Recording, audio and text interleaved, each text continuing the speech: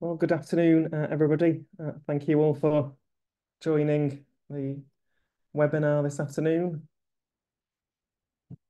We're going to be looking at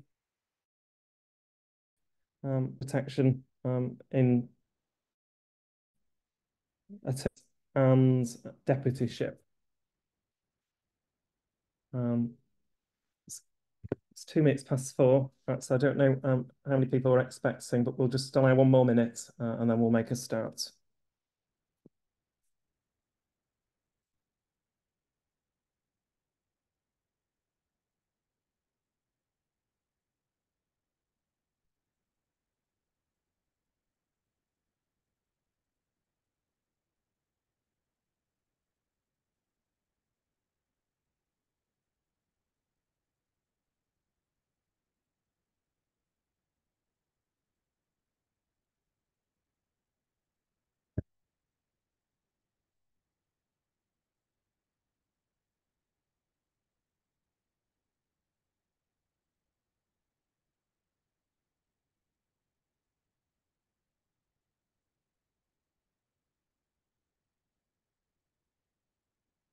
Right, so we'll we'll make a start on the uh, training, um, and we'll start off with the considering lasting powers of attorney and deputyship in the context um, of local authorities. Um, and I hope everybody can see the slides.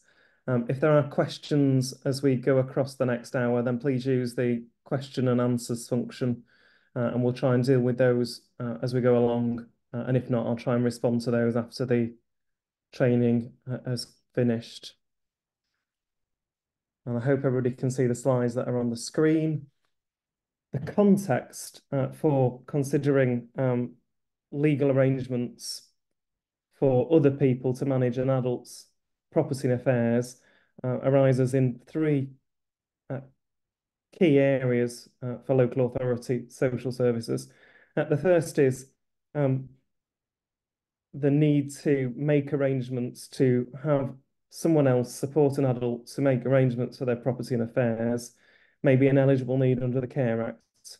Um, and um, there are a number of eligible, eligible outcomes under which the ability of an adult to be able to make arrangements to buy food, commission services, pay for care, homes, etc., uh, will uh, be an eligible need towards meeting an eligible outcome under the Care Act. And I've, I've put some examples on the screen um, there. They're, they're, very straightforward.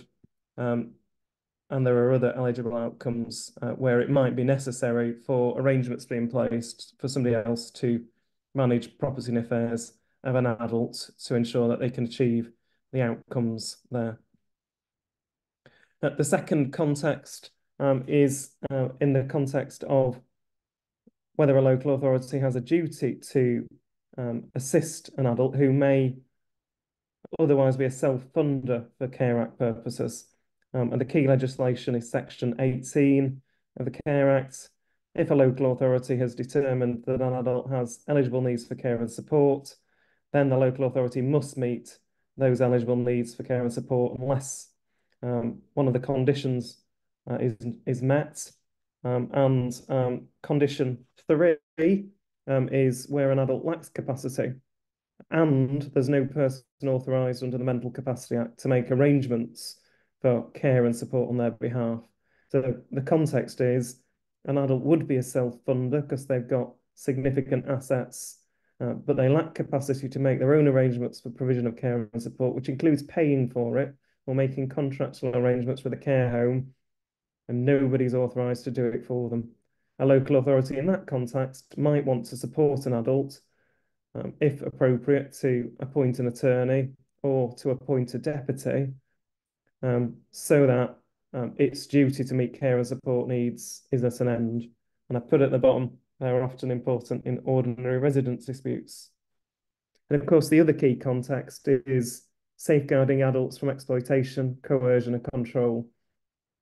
And there are often cases where uh, a vulnerable adult is living in the community um, and family members are using their bank cards to pay for their own uh, expenditure uh, uh, uh or um, misappropriating benefits, um, and the local authority wants to do something to move control of an adult's finances away from the adult themselves in order to see that their income is spent on them. Uh, so uh, that is the context. Um, I am afraid we've got a lot of very dry um, legislation um, and policy to get through uh, to cover the topic this afternoon. Um, and we're going to have to skip through it at quite some speed, given that we only have an hour. Uh, but looking at lasting powers of attorney, there are two types, as you'll all know. Uh, there is a, a, a, a fine, an LPA that deals with financial decisions. Um, and there's LPA, which grants authority uh, in respect of health and care. The biggest difference between the two types of authority uh, is finance and property. Lasting power of attorneys uh, can start, the donor still has capacity if the donor says so in the instrument, whereas um, health and care lasting power of attorney is only effective um, where the adult lacks capacity to make their own decisions about care and support. This training session is focusing primarily on finance and property. In order for a lasting power of attorney to to be have to be met. Uh, the first is uh, that attorneys who have been appointed have to be uh, over 18 themselves. Uh, they need to um, uh, not be uh, bankrupt um, and they need to be appropriate to make the arrangements. the second is that the donor, the person granting the attorneyship over their affairs, must also be 18 or over. Uh, and at the time they grant uh, or donate power of attorney to their attorneys, they need to have capacity to be able to take that decision. The third is that a lasting power of attorney will not take effect until it has been registered with the Office of the Public Guardian. Um, and um, it has to pass through all of the OPG, the Office of the Public Guardians, Guardians uh, tests and requirements before it will be entered into the register. Um, most powers of attorney that we deal with now since the 17th of July 2020 um, can be seen online um, on the OPG's website to see uh, whether they've been submitted for registration, if so, the progress towards registration, and once they are registered, confirmation that the LPA has been registered and a summary of its powers. Um, that's useful for an attorney that has a registered power of attorney because they can direct banks and other institutions to the OPG's website to allow them to make their own inquiries uh, and deal with an attorney. It goes without saying that an unregistered lasting power of attorney does not afford any authority or legal powers on attorneys to make decisions on behalf of the adults. The fourth requirement is that the application has to be made using form LP1F or for health and welfare LP1H. Um, it has to be the prescribed form. Uh, the fourth is that applications have to be certified uh, by uh, an appropriate person. It's usually a professional, often a GP, sometimes a solicitor, um, and somebody who has known the donor the adult granting the lasting power of attorney for two years.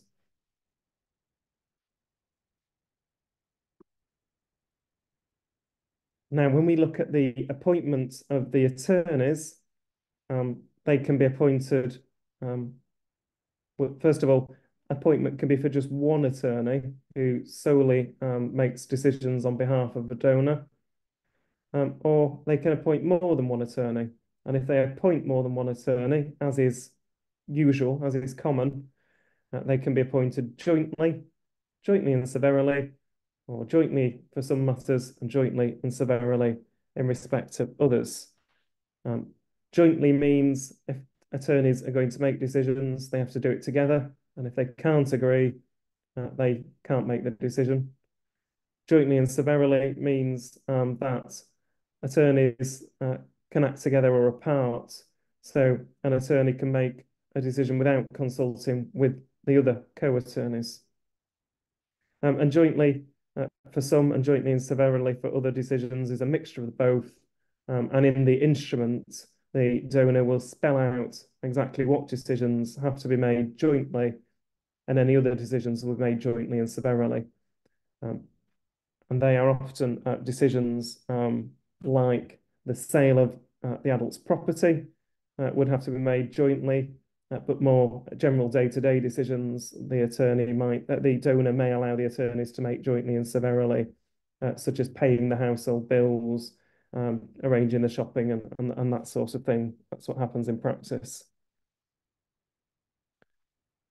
Um, when we look at, uh, again, appointment of attorneys, the donor can appoint their husband or wife or civil partner uh, to be their attorney. Um, but unless it says expressly in the power of attorney, if they subsequently uh, divorce, then the attorneyship appointment is also revoked under Section 13 of the Mental Capacity Act. When we look at the um, particular decisions um, for attorneys with fi uh, finance and property, as opposed to health and welfare, the Code of Practice helps us with what we might uh, mean, uh, what decisions fall in finance and property, buying and selling property, running the bank accounts, um, using the benefits, receiving income, dealing with tax affairs, paying mortgage and rent, insuring the properties, um, and those sort of things um, that are solely concerned with finance. Some decisions are trickier and they overlap with health and welfare. And at the bottom of the slide here, um, I've given the example which you in local authority situations will be familiar with, and that's where um, an adult is moving home uh, and so the decision about where the donor lives is not a decision for the uh, the attorneys for finance and property. That's health um, and care uh, lasting power of attorney. But the decision about the arrangements for where the adult moves to live in terms of the rents and uh, or care home fees and the costs of, of living in a new place are taken by the attorneys for finance of property. Uh, and you'll all know that just like the Court of Protection, a health and welfare attorney um, has to choose from the available options. Uh, and if the attorneys for finance of property are different people, and they say this adult can't afford to live in this care home, then the health and welfare attorneys can't move the adult to that particular care home or, or property, um, as the case may be very often, of course, the attorneys for health and welfare are the same people uh, as they are for finance and property, um, and um, there's nothing untoward in that at all. In ter terms of an attorney's uh, remuneration, um, they can have out-of-pocket expenses, um, but not much more in ordinary and usual cases. Uh, attorneys can receive um, fees for fulfilling their role if the donor specifically says so, and it has to be in section seven of the LPF1 form. Um, and in those circumstances, um, they can be remunerated for their services. And that's what would happen if a solicitor or a professional advisor um, agreed to act as the lasting power of attorney. Um, and that does occasionally happen. So what duties or responsibilities do attorneys have when they are acting uh, on behalf of an adult? Um, the first is that they uh, have to abide by the limits on their authority set out in the lasting power of attorney instrument itself. Uh, and occasionally, although in my experience, not very often, um, a, an adult, a donor, might set limits uh, on what the attorneys can do. Um, I think the a common one that I do see is in the context of health and welfare, uh, where there are um, restrictions on attorneys' uh, abilities to consent to um, end of life treatments uh, or to um, withdraw ventilation um, in emergency situations. Um, very often there are also um, clauses which prevent attorneys from moving an adult into residential care if they have held um, strongly strong views that that's not for them. So just by way of example.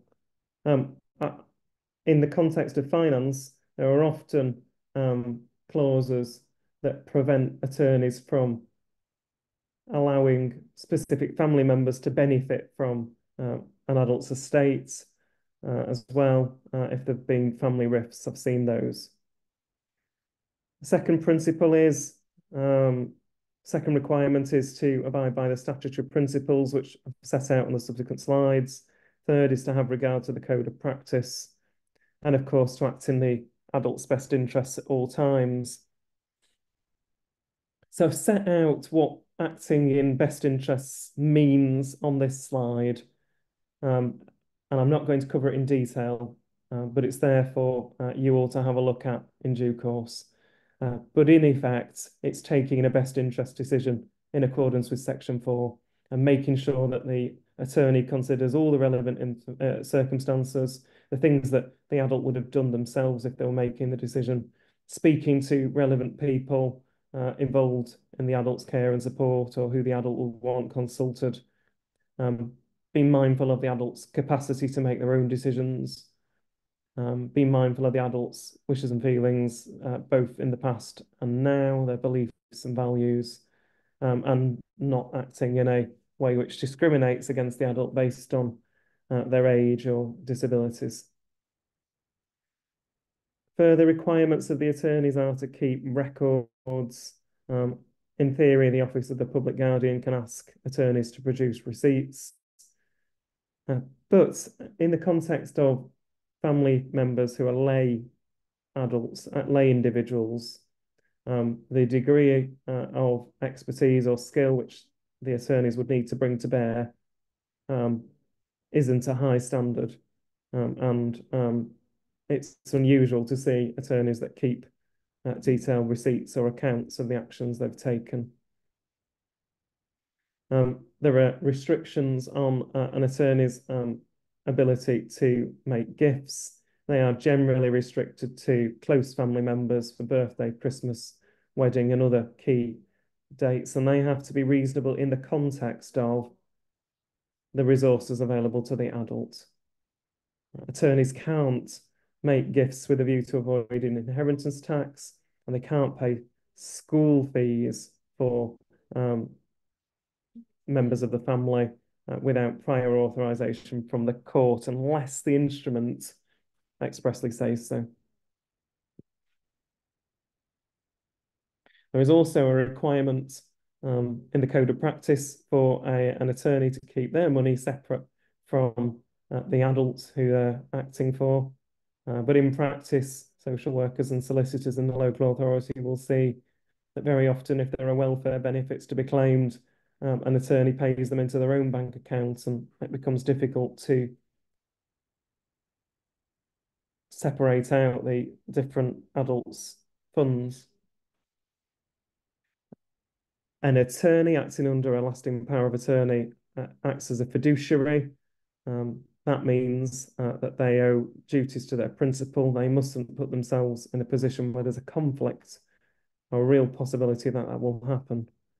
Um, in reality, not just for attorneys, but deputies as well, um, there will be lots of circumstances where there are uh, conflicts. A good example is where um, the attorney is the son or daughter of the adult, um, and discussions are taking place around an adult moving into a care home.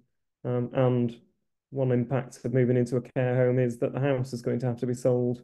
But of course, that's a house which the son or daughter is likely to inherit.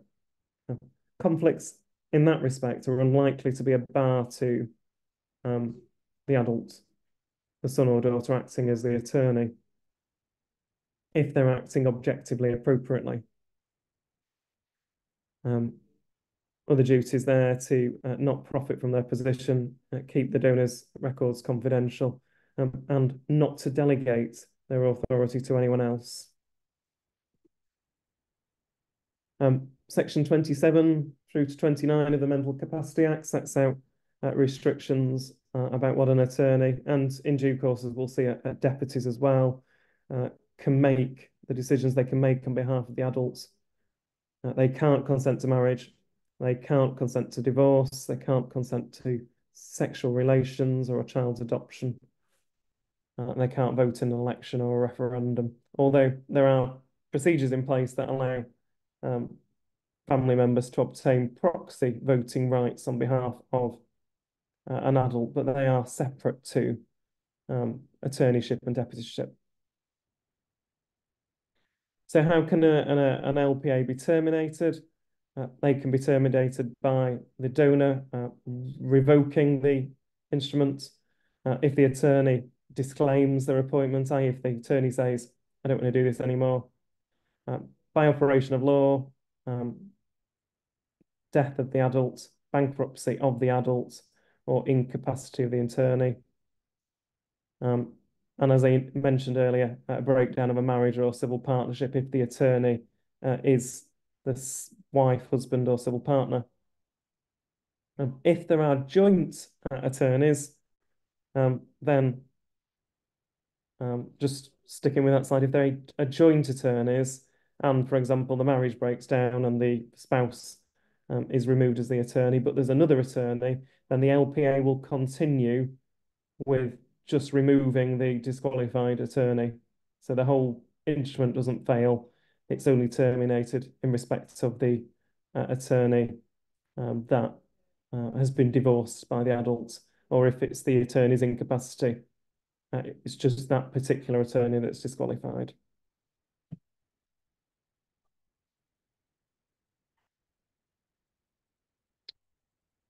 That seems to be a repeat of the last slide, so apologies for that. Um, I put on the slides here to assist you all because sometimes social workers and local authority solicitors help attorneys to um, revoke, uh, help donors to revoke a lasting power of attorney if they've changed their mind, for example, in a safeguarding uh, investigation.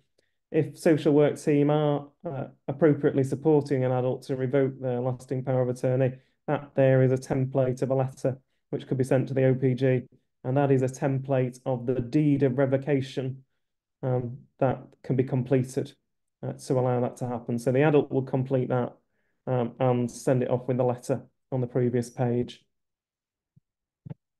Um, the law does afford um, a wide margin of protection around attorneys if they think that they're acting with a valid lasting power of attorney and reasonably in all of the circumstances, then they won't incur any personal liability. Um, if there are disagreements between the attorneys, um, particularly when they're jointly appointed, um, then that too might trigger the local authority's interests from a safeguarding perspective. And in the first instance, um, those matters should be raised with the attorneys to say, look, there's this problem. Um, it's causing difficulties for the adult who's uh, in limbo um, and what can be done to address it. And if that doesn't work, um, then a referral can be made to the Office of the Public Guardian.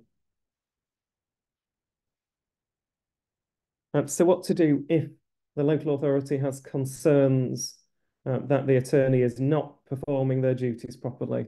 Um, I've spent some time in the slides on this because um, I think this is probably one of the key issues which you as local authority professionals um, want to uh, find out more. Um, so the starting point is, as I say, if there are concerns, meet with the attorneys and discuss it with them.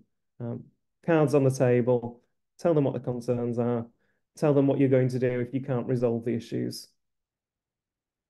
If that doesn't work, then the first thing the local authority might do is report a concern about an attorney to the Office of the Public Guardian.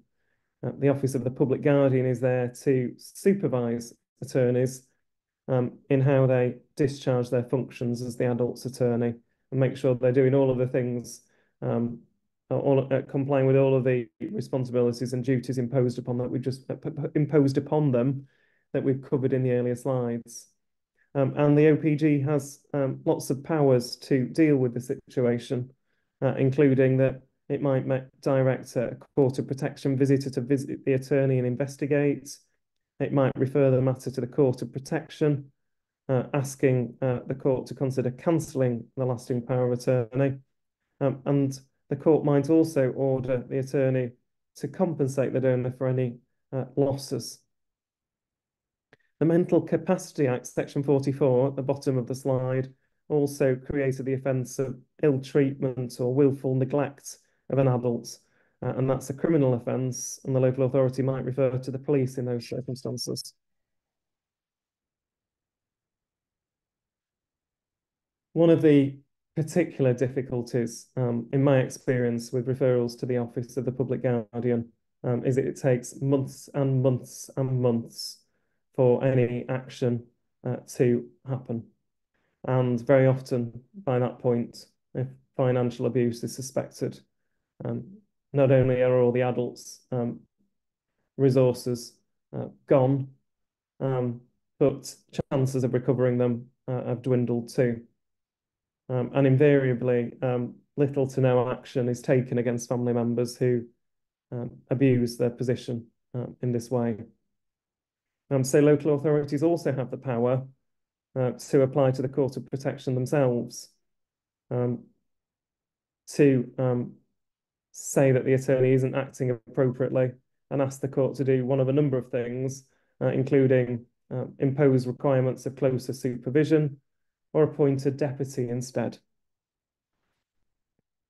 Um, circumstances where the local authority might do that uh, most obviously arise in its safeguarding capacity. And that might be that the adult is living at home and their needs are being neglected because they don't have money to get out about in the community. They don't have money to pay for food on the table. Um, and they don't have money to commission domiciliary care if they're assessed to pay for it. It might be that the adult is in a care home and they are liable to pay their own care home fees and the placement um, is at risk because those fees aren't being paid. Uh, very often, if an adult is self-funding a care home placement, they may have gone to a nicer uh, or more expensive, luxurious care home than that which the local authority is obliged to commission under the Care Act. Uh, and so there could be a real risk that the adult would have to be moved to an LA rate or cheaper care home uh, if the uh, safeguarding issues aren't addressed. So in those circumstances, a local authority can make an application to the Court of Protection and legitimately, legitimately say the concerns in respect of the financial safeguarding need to be addressed um, with more degree of urgency or expediency uh, than would be the case if a referral was made to the Office of the Public Guardian. On this slide, I've set out the forthcoming proposed reforms to lasting power of attorneys. Um, I'm not going to go through that information, but it's there if you want to have a look at that in your own time. Um, so um, a little bit about the Office of the Public Guardian. Uh, they are responsible for maintaining the register of lasting power of attorneys, and they're also responsible for dealing with representations about an attorney and or a deputy um, about how they fulfill the role. role. Um, the website address is there at the end of that link. On the website, you'll find uh, on the website uh, are all the forms that are needed to apply for a lasting power of attorney or to apply for deputyship uh, with guidance notes. Um, there are links to uh, pages to make referrals to the Office of the Public Guardian to report concerns, both as a professional or a member of the public. Um, so that's that's the details for the Office of the Public Guardian. If the Office of the Public Guardian is investigating um, a uh, representation, uh, then they usually get in touch with social work professionals that are involved with the adults um, and they ascertain and seek their wishes and feelings and views uh, and ask for records to be provided. Records should be provided to the Office of the Public Guardian if requested. Uh, they have a statutory power to see them. Um, and you should know that any uh, emails sent by social workers or solicitors to the Office of the Public Guardian will usually be shared with the attorney that's uh, under investigation. Um, so they should be uh, professional emails, uh, objectively written.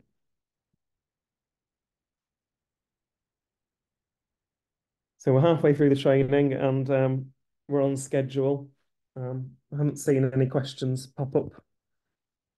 I'll just have a little look now. No, there aren't any, so that, that that's good. We're moving on now to look at the Court of Protection um, and um, deputies. Um, the Court of Protection, uh, as you all know, is the court established under the Mental Capacity Act, and it has wide-ranging powers uh, in respect of um, lasting power of attorneys. Uh, the Court Protection can give directions about how an attorney should use the powers. Um, so in the context of um, Section 21A proceedings or Section 16 welfare proceedings, often the issue of what uh, respect has to be given to an attorney with health uh, and welfare uh, attorneyship about where uh, an adult lives. Uh, and the answer is that ordinarily, if a, a health and welfare attorney says they want the adult to live in a certain place, that should be respected unless it's plainly unreasonable and places the adult at significant risk, uh, in which case um, the court can be asked to override the attorney's uh, wishes and feelings or directions about where the adult should live um, and direct the attorney to uh, make decisions in a particular way. Um, so that, that's a good example. Uh, another example um, in the finance and property uh, perspective might be if an adult's moved to a care home uh, and they have plenty of money in the bank and they want to return to their own home, and professionals think that could happen by way of a 24 hour package of care and support at home, which, as you all know, usually costs in the region of two or three thousand pounds. And the attorney's saying, well, I don't want to spend the money in that way.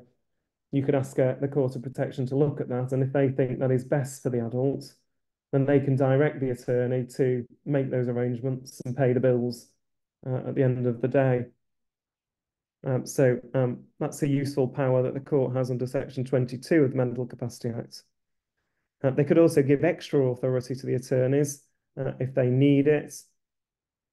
Um, they can order the attorneys to produce records or uh, produce statements explaining uh, how decisions have happened or where things have happened. Um, and they can adjudicate upon the validity of a lasting power of attorney. So most obviously, the validity of a lasting power of attorney will be seen by local authority social workers uh, and solicitors uh, in the context of it being executed um, in circumstances where they've already been assessed, where the adult's already been assessed to lack mental capacity to make decisions about their residence and care and support. Um, and as so often happens, um, a few weeks later, somebody pops up with a, a new lasting power of attorney uh, and the um, attorneys are saying uh, the adult should live in a particular place. Um, and there are question marks over how that document came into existence. Um, the Court of Protection can revoke a lasting power of attorney, but only if the donor, the adult, does not have capacity to make a decision about revoking the lasting power of attorney themselves. And that was a significant shift when the Mental Capacity Act 2005 came in, because under the previous law, um, the court could revoke enduring power, uh, could could revoke enduring powers of attorneys, even if the uh, adult could make that decision themselves. And if the adult lacks capacity to revoke the lasting power of attorney themselves, the court can do it for them in two circumstances. First, if there was fraud or undue pressure applied them to create the lasting power of attorney. So back to the example I gave about um, somebody who's been assessed as lacking capacity to make decisions about where they should live, um, and they're getting moved to a care home, and the next thing we know, that the lasting power of attorney pops up. That could be an example of undue pressure. Or more obviously, uh, and more usually, where there are concerns about the attorney's behaviour, if they're behaving in a way that contravenes their authority or is not in the best interests of the adult uh, viewed through the prism of section four. And they're the most common applications. So on the next couple of slides, uh, I've selected a few cases which illustrate how the court has used its section 22 subsection 4 power to revoke lasting power of attorney. Uh, and in Re J, um, we've got um, the uh, case of which was decided by Senior Judge Lush, uh, where it was decided that um, the attorney's behaviour isn't confined to their behaviour in the context of them being an attorney. If they're behaving in a way which is contrary to the adult's best interests um, in their wider life, um, then um, that will also uh, found reasons uh, found uh, a basis on which the LPA can revoke. Um, in uh, Re AMH, uh, an LPA was revoked uh, and um, the same attorney who uh, was the attorney under the revoked lasting power of attorney instrument was appointed as the deputy. Um, and the thinking behind that was that the accountability of a deputy is much higher um, and um, in those circumstances, um, the Office of the Public Guardian had wider authority to keep an eye on them. Um, although um, it's a striking case to read is AMH because um, the attorney in question had no knowledge at all of the Mental Capacity Act, of how best interest decisions should be formulated, and no interest at all in learning about those or uh, acting in a way compatible with the Mental Capacity Act. Um, it, it was an unusual decision. Um, the decision of Re F, which was a decision of Mr. Justice Patten, um, is also a helpful decision because it deals with uh, fallouts between attorneys uh, who are uh, siblings or other relatives. Um, and um, although the um, judge didn't remove the attorneys uh, in that case. He set out the test that um, attorneys will be removed if there's clear evidence, clear evidence that continuing hostility between the family members who are attorneys uh, will impede the proper administration of the donor's affairs or cause distress to the donor. Um, and of course, you see that um, in lots of cases where um, an adult has family around them who disagree about the adult's best interests um, and are squabbling and upsetting them. Um, and that would, in those circumstances, found grounds for the removal of attorneys. Um, that was uh, Mr. Justice Patten's decision related to EPAs. Um, the dictum's been approved um, in the CSPLMEL case uh, in respect of lasting power of attorneys.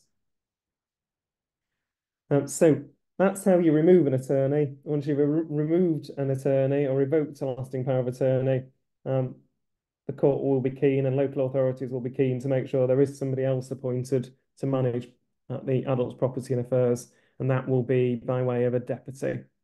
Uh, again, there are two types of deputyship, personal welfare and property and financial affairs. Uh, and this session is concentrating again just on property and financial affairs. Uh, in fact, personal welfare deputyships are a rare uh, thing indeed. Uh, so, how do we how do we appoint and decide who should be deputies? Uh, the starting point is that the Mental Capacity Act makes no reference at all to how a deputy should be chosen. Uh, and of course, the starting point for the court is should there even be a deputy? Because a principle of the Mental Capacity Act is that um, if the court can take individual decisions without granting um, wholesale authority to a deputy, it should do. Uh, that said, um, generally speaking, for property and affairs, uh, a deputy will be appointed. Um, the case of Re M and uh, O and P um, is the leading authority about um, who should be um, the deputy. Uh, and the starting point is that the court prepares, prefer, prefers to appoint a family member or close friend. And it does so for a number of reasons. Um, first of all, they're familiar with the adult um, and are likely to be, be familiar with the adult's affairs, wishes, and methods of communication. They'll have personal knowledge of the adults, uh, and they'll be better able to meet the obligation of being the deputy to consult with the adults uh, and encourage them to participate in decision making as fully as possible than a professional.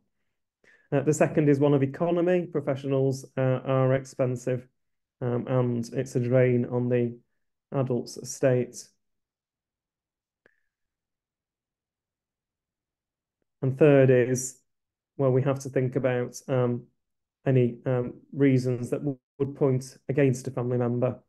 Um, and very often, um, in cases where a deputy is being considered, uh, there have been concerns or allegations of previous physical or financial abuse.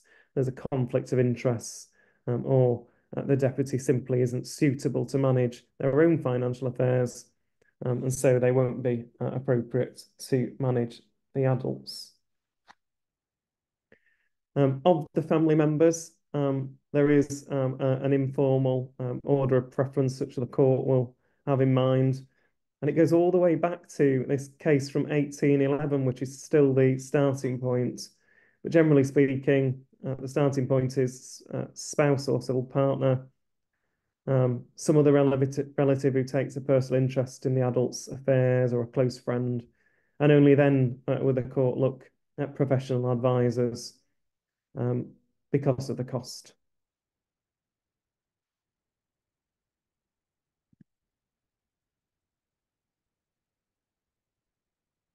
Uh, it's useful, I think, for local authorities to know uh, about the Re BM case. And there's another case, which is Ray Bushy, uh, where the Court of Protection has spelled out when it wouldn't be appropriate for family members and friends to be deputy and this will weigh heavily in safeguarding investigations into financial abuse.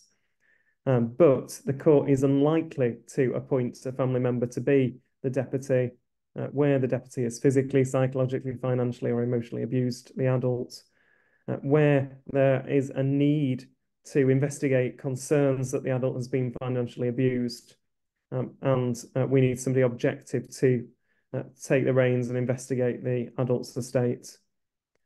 Um, as I indicated earlier, where there's a real conflict of interests, that should say D there. The proposed deputy uh, has uh, an unsatisfactory track record of managing their own affairs. And I can't see what's on the bottom of the slide. Um, e, where there is um, difficulties, fractured relationships between the family members. In fact, E is the ground which I see relied on most frequently in these sorts of applications before the Court of Protection that are brought by local authorities in safeguarding cases. Um, of course, um, if um, the adult has had a massive personal injury payout, um, then there's a need for them to have specialist advice about how to manage those funds. Um, and generally speaking, that wouldn't be left to a family member. Um, occasionally, it's left to a family member to act jointly with a professional deputy. Um, those can uh, those arrangements often uh, can be quite tricky. Other things to think about when we decide who should be the deputy, um, what the adult themselves thinks about it, um, and of course, if they um, have somebody in mind who they really want to manage their uh, property and affairs, um, then there can be real benefits to that because the adult will feel like they're being uh, listened to. Um, that person may well um, have good knowledge of the adult and their affairs and be well placed to step into the shoes um, of the adult themselves. Um, also, um, particularly older people um, have a habit of entrusting their affairs to a particular relative or professional over a, um, the course of their life, and it would make sense to seek out that particular uh, professional. Uh, sometimes that can be a family solicitor. Um, sometimes it might be um, somebody at the local church. Um, and those are things that have to be um, considered. Um, as I alluded to in the previous slide, the size and complexity of the state is also a relevant concern. Um, and if it's a larger, more complex estate, the less likely it is that a family member will be appropriate. Another aspect to consider are the qualities of the proposed deputy. Um, and um, here are the uh, things uh, to think about in that respect in the um, bullet points at the bottom of the slide. Um, the um, degree of contact that the family member has with the adult is, a, is an important one um, because um, a key advantage of a family member being the deputy is you'd expect them to see them often um, and um, have that consultation, which often does not come with professional uh, uh, deputies. Uh, there shouldn't be an obvious uh, conflict uh, of interest, um, but um, there will, uh, in most cases, be conflicts of interest, which should be remedied by the fiduciary duty which the deputy would be under.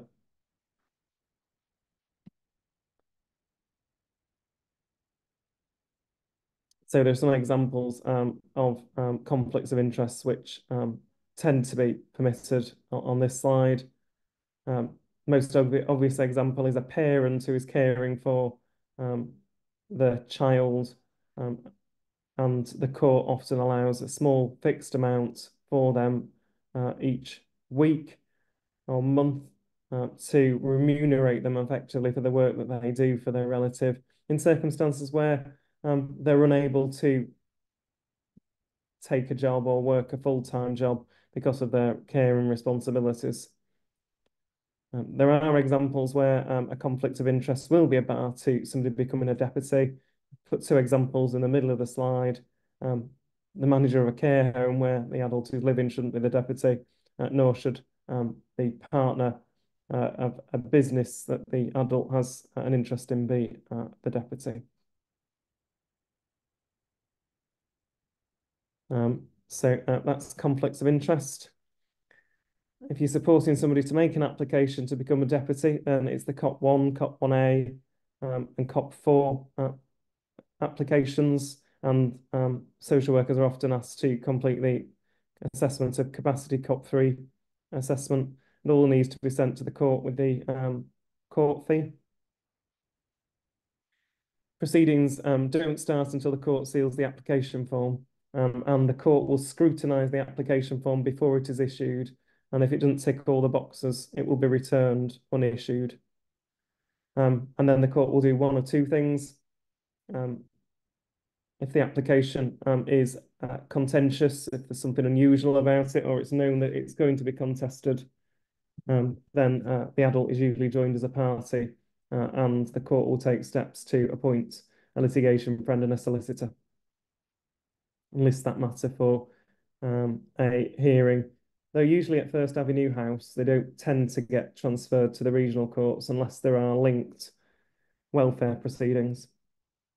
Um, in the majority of cases, however, they're dealt with on papers um, and uh, generally granted without um, much litigation. Uh, the assessment of capacity for property and affairs um, looks at a wide range or should look at a wide range of aspects of decision making from day-to-day management of money and going to the shop and expecting change to paying bills um, and rent and mortgage or care home fees and, and those matters. Um, and ultimately, the order which the court will make if incapacity is found is that the adult lacks capacity to make some decisions about their property and affairs um, and the inference is it's not all decisions.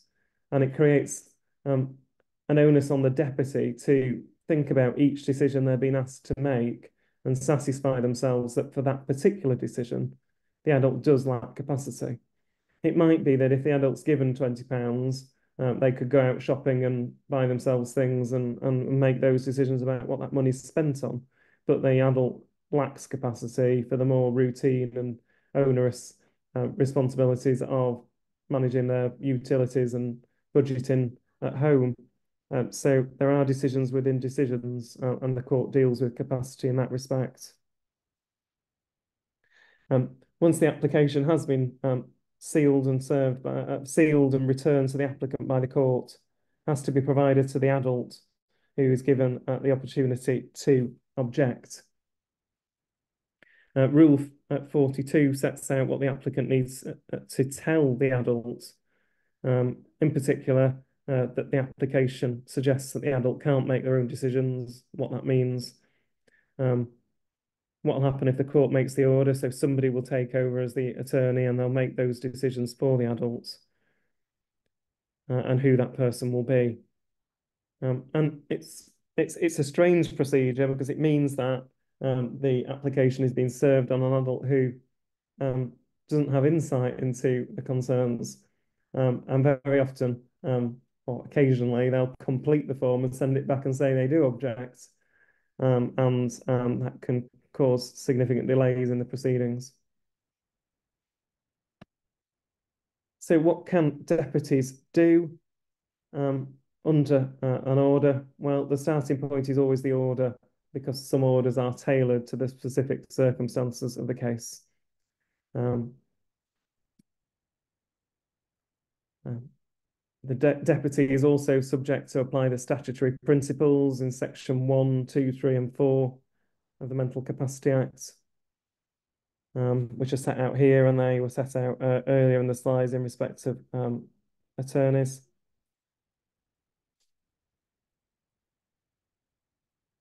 Um, the, the same statutory rules and guidance applies about the uh, deputy having to make sure that the adult lacks capacity to make the decision uh, they have to check that the order allows them to make the decision on behalf of the adults. A good example is um, that generally speaking now deputyship orders do not uh, grant uh, a power to an, a deputy to sell a property um, which the adult owns without further authority of the court. And we'll cover that shortly in the in the slides.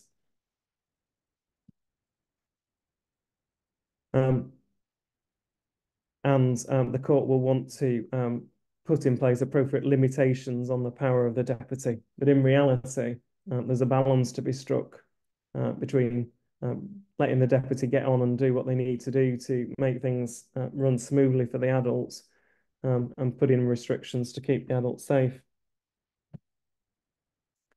Um, these are examples of some of the things that I've seen um, of the court limiting uh, the scope of a deputy's authority by way of an order. Um, so Key examples are, as I've said, where an adult is living in the home and it doesn't need to be sold, not giving the authority to sell it, like making a restricted order where there's been a history of financial abuse or misuse of the adult's properties, where uh, the adult's circumstances are all up in the air. Uh, perhaps they're, uh, they've come out of hospital and moved into respite care home, um, and it's not clear where they're headed in the long term. Uh, where there are concerns about the deputy, uh, the proposed deputy's ability to manage the property and affairs. Um, but the adult's very keen that that deputy is uh, the person for them.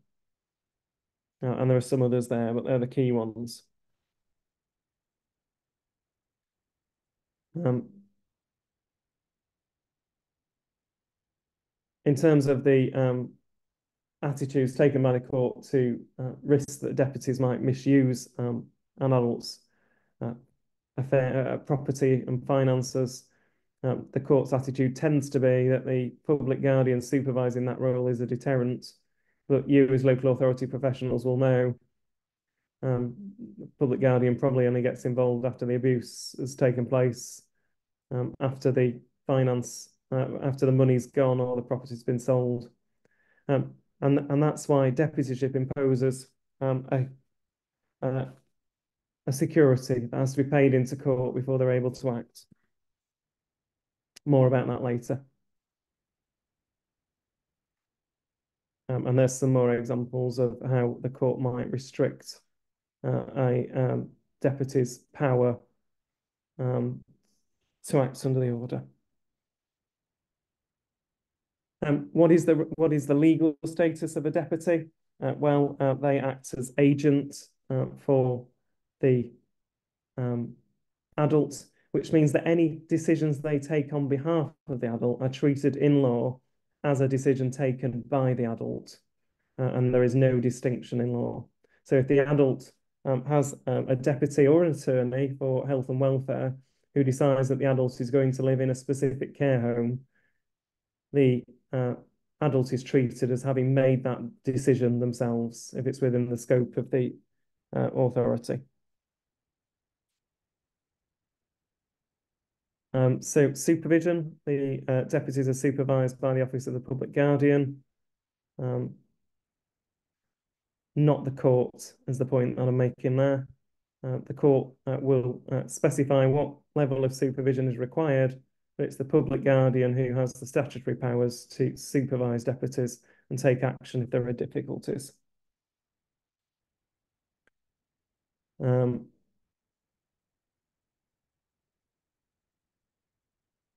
So um, deputies um, can't settle P's property or execute a will for P or exercise any power uh, vested in the adult as a trustee uh, in their role as a, a deputy. So there's further limitations. That, that, that last one about acting as a trustee uh, is relevant if there is the sale of a jointly owned property. So if the adult owns a property with somebody else and that property is to be sold, then there will also need to be an application for the appointment of a replacement trustee under the um, under TOLATA uh, in order for that sale to proceed. It might be that the person who is acting as the deputy also acts as the attorney, uh, as the trustee, but there's a, a separate application required for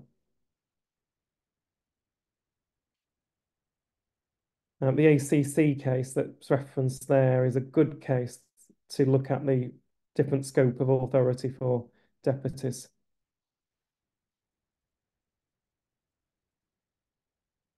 Um, where P lives, uh, again, just as uh, an attorney for finance and property can't decide where an adult lives, uh, nor can uh, a deputy for finance and property.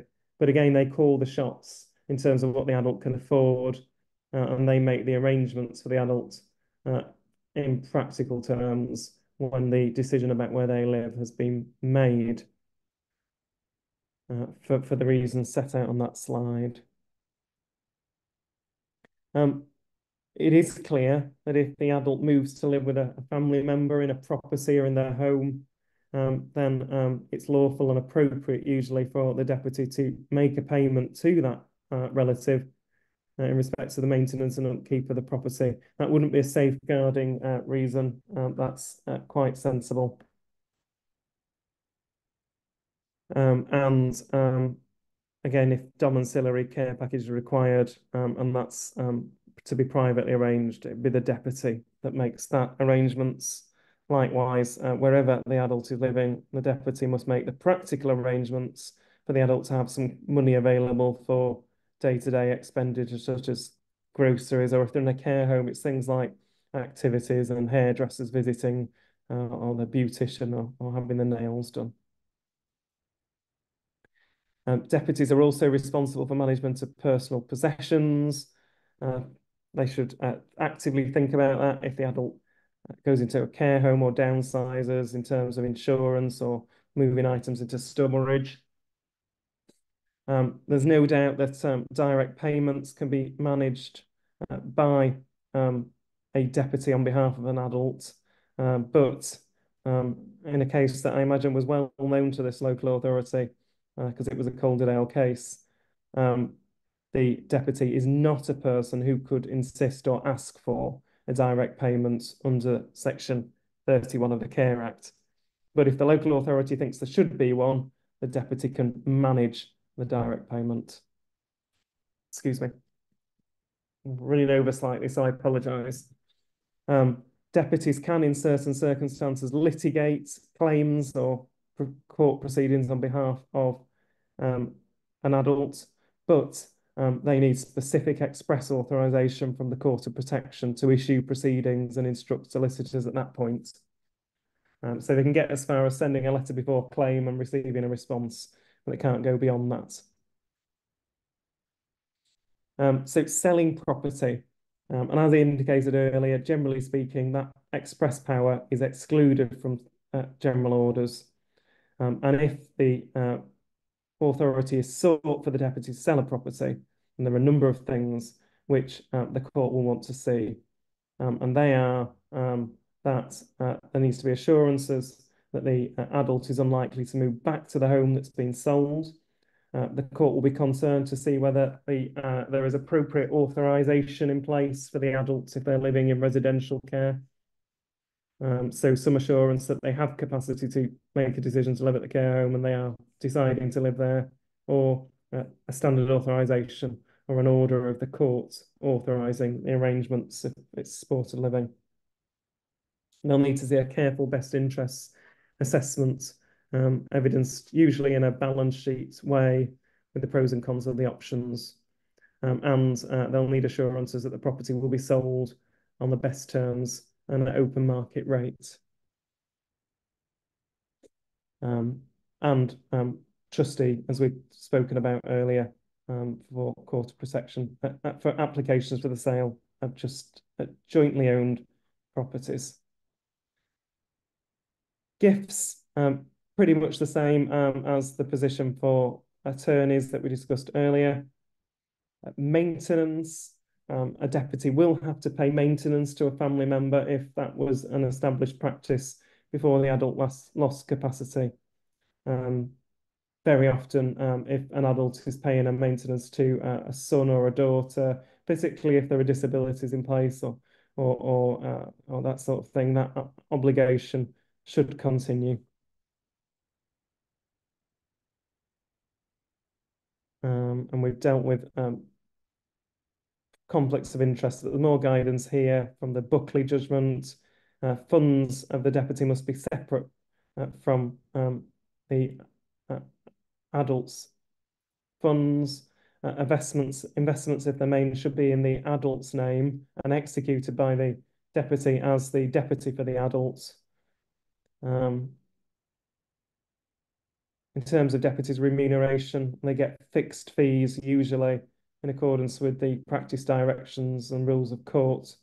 Um, if they go over the fixed fees and there's a good reason, they can apply for assessment by the Senior Courts Cost Office. Uh, so that's deputies. Um, I don't think I could conclude this without mentioning ordinary powers of attorneys, uh, which um, are not lasting power of attorneys. Um, they are a deed which allows somebody else usually to sign or execute a document on their behalf. Um, they're quite common in commercial uh, law and contract law, um, but every now and then um, they crop up in safeguarding inquiries by local authorities. Um, and you'll need to get careful advice uh, about the effectiveness of ordinary powers of attorneys. Uh, finally, um, think about whether an attorney or a, a deputyship is necessary, uh, because of course, um, appointeeship uh, also provides useful um, uh, arrangements um, to manage welfare benefits on behalf of an adult. Uh, there are uh, two useful resources that I wanted to flag with you all um, in the context of what we've been talking about. Um, the first is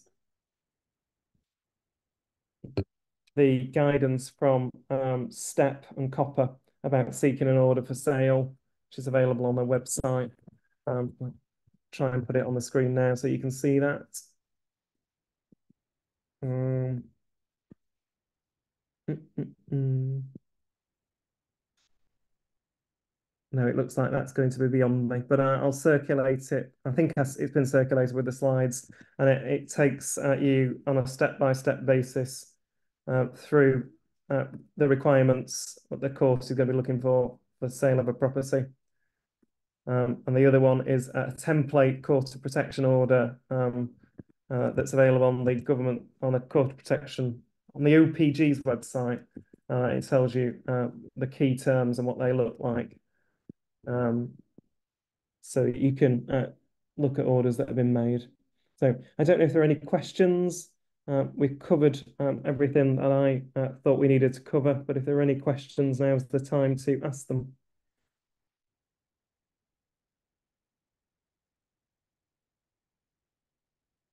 Well, there aren't any questions that I can see popping up. Um, so um, I've probably uh, bored you all to death. uh, and uh, we'll bring the training to an end. Oh, here we go. We've got a, a question. What's the best resource to send to family who need reminding uh, of lasting power of attorney duties? Um, there will be a guide on the Office of uh, Office of the Public Guardian's website um, about, uh, in simple terms, about what uh, attorneys should do. So I can probably dig that out and send that through to you, Maria, uh, if that is uh, of any help. Um, but it doesn't look like there are any other messages, so we'll we'll close the training at that point. And thank you very much for your uh, time this this evening. Take care.